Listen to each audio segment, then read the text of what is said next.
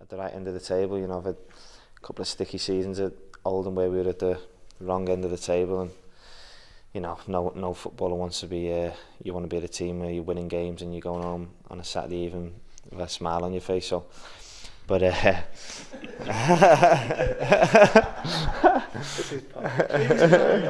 I was just kind of. That's what, what my part of the trick. This. oh, but um, but yeah, obviously this year, hopefully we'll be uh, right up there. Talk us through.